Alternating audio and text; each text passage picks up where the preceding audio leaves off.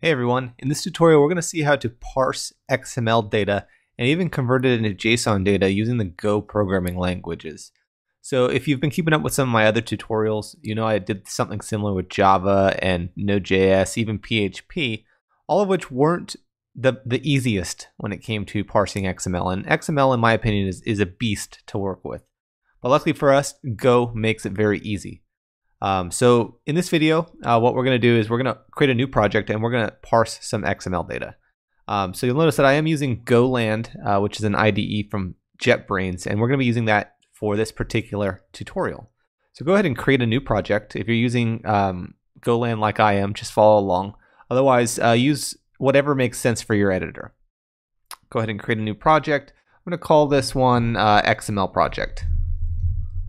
And we're going to say create.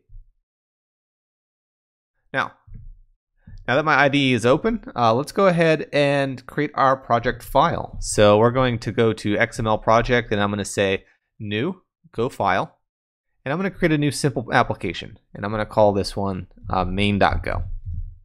Doesn't, doesn't really matter too much on what you call it. So with the project created, uh, we can start coding. This uh, GoLand by JetBrains will actually fill in the blanks when it comes to adding my dependencies. If your editor doesn't do that for you, go ahead and make sure that you add the proper imports for each of the libraries that you wish to use.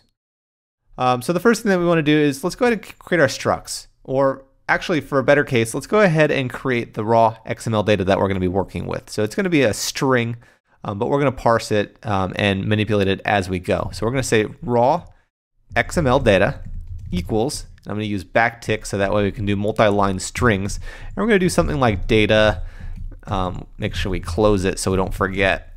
Uh, each data is gonna it's gonna have a person, and that person will have let's say a first name. Let's go ahead and say Nick. It's gonna have a last name. Let's call it Raboy. And let's go ahead and say that it has an address. And inside of that address, we, we probably expect it to have a city and a state. Let's go ahead and say the city for this one is going to be Tracy, where I live. And the state is going to be in California. Now we're going to go ahead and copy that for the next person, so that way it'll save us some typing. And we're going to scrap the address this time around. We're going to remove it and we're going to change the person to Maria. So this is the data that we're going to be working with this for this particular example. We're going to see how to convert it to JSON and then back into XML as well, depending on what data format you really want to use. All right, so now that we know the, the actual data, we can create our data structures around it. So let's go ahead and say type data, hence the, the top level node, and that's going to be a struct. And we're going to say that it's a uh, we'll, we'll leave it at that for now. Then we're going to work with the inner nodes. So it might make sense to say address first. So for address, uh, we, we're going to have a city, and that's going to be of type string. And we're going to define some annotations here. So for the annotations, we're going to define both XML and JSON annotations. So we're going to say XML and we're going to define what this represents in the XML tag. So we're going to say it represents city because that's what we have inside the tag itself. We're also going to define JSON. And for JSON, we're actually going to call it city as well, but we're going to omit it if it's empty. Let's go ahead and, and add the next line. Let's go ahead and say state, and that's going to be a string. Again, it's going to be XML, and it's going to be state. JSON is going to be, of course, similar and we're going to omit it if empty. Perfect. Now that we have the address in place, and I notice that I have a typo here, struct, uh, let's go ahead and create a person. So let's say uh, type equals person. That's going to be a struct. And for this person, we're going to have a first name. It's going to be a string. We're going to say XML. We're going to say um, first name. For the JSON, it's going to be first name we won't omit, it this time. We'll require it. Last name is string, XML, last name, and JSON is going to be uh, last name as well. And then finally, we need to be able to link the address and the person together. So we're going to say address, and this is going to be a pointer of address. And for XML, we're going to say address because that's what the uh, node is, uh, address right there. Um, so address and JSON is going to be, of course, we're going to keep it consistent, say address as well, and we're going to omit it if it's empty. So we're going to allow the address and the address uh, properties to be uh, empty, um, and in those cases, they just won't show up in the JSON. So now that we have the person and address, let's go ahead and finish this uh, this data node. Uh, so we're going to say person list, and we can say that that's going to be a slice of person, and that's going to be XML person, and JSON is going to be people, so plural, uh, because that makes sense for JSON because it's going to be a JSON array. Now, the thing about this is, well, we don't technically know too much about the, the parent node. We, it's lowercase. I mean, technically it would work. We'd have a uppercase data, but we want to be able to define what the XML node name is itself. So let's go ahead and give it a name. So let's go ahead and say XML name. That's going to be XML.name. Uh, the XML um, value is going to be data. And the JSON in this case, uh, we're not going to include it at all. Oops. So we're going to use a hyphen.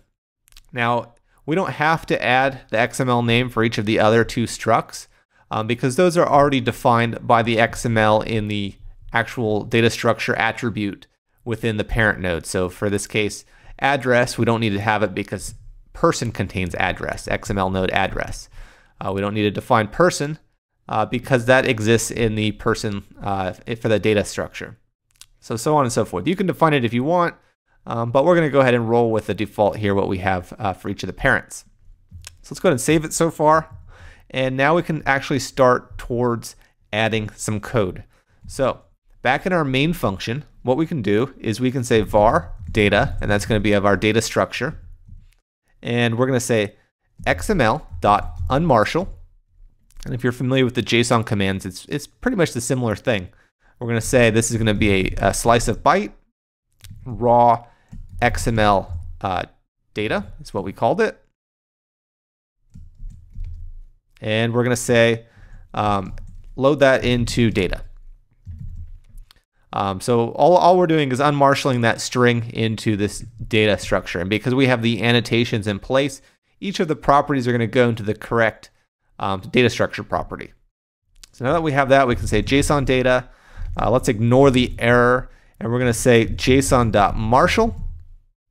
And we're going to say data. And what we're doing here is we're actually saying, you know what? Take this string, uh, marshal it into this, um, unmarshal it into this data object and then we're going to turn it into JSON. So we're marshaling it back in, but this time we're going to display it as JSON. So we're going to take that, we're going to say fmt.print line, we're going to say string, and we're going to say JSON data, and we're going to save it. So now that we have that, we could probably run it and see where we end up, and then uh, work towards making a JSON string back into XML. So let's go ahead and run. Uh, we're going to need to define, uh, let's go ahead and build it raw XML data. So do I have a typo here? Raw XML data. Yeah, so I forgot the colon here. So it caught it. So I'll save it. I'll run it again. This time around, it printed out uh, that JSON string. So it, it is now in JSON format. So we easily took that XML data, which in my opinion is very nasty to work with, and we turned it into JSON, which would be more pleasant to work with when it comes to, say, an API. Now, Let's go in the opposite direction, even though that we don't absolutely have to. Let's, let's go in the opposite direction anyways. We're going to say raw JSON data. And we're going to say uh, use the backtick so that way we can use a, a multi-line string here. Um, but we're going to say, uh, let's go ahead and, and create this object. We're going to say people. And this is going to be an array. And inside of people, we have objects. So we have, for example, and I'll I know I'll forget to add my brackets if I don't do it ahead of time. Um, but what we're going to do is we're going to say first name. This one's going to be Nick. We're going to say last name. This one's going to be Raboy. So basically the same steps, but we're just converting it back. Uh, for the address, This is going to be an object. And then we're just going to copy and paste after this, but we're going to say city. Is going to be Tracy.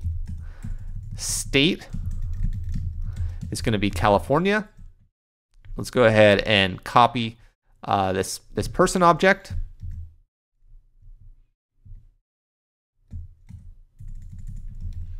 And we're going to remove the address again. Know, we can actually, let's remove it from me this time because the previous entry for XML didn't have it on uh, Maria, who lives with me. So let's go ahead and say Maria. Uh, we're going to save it.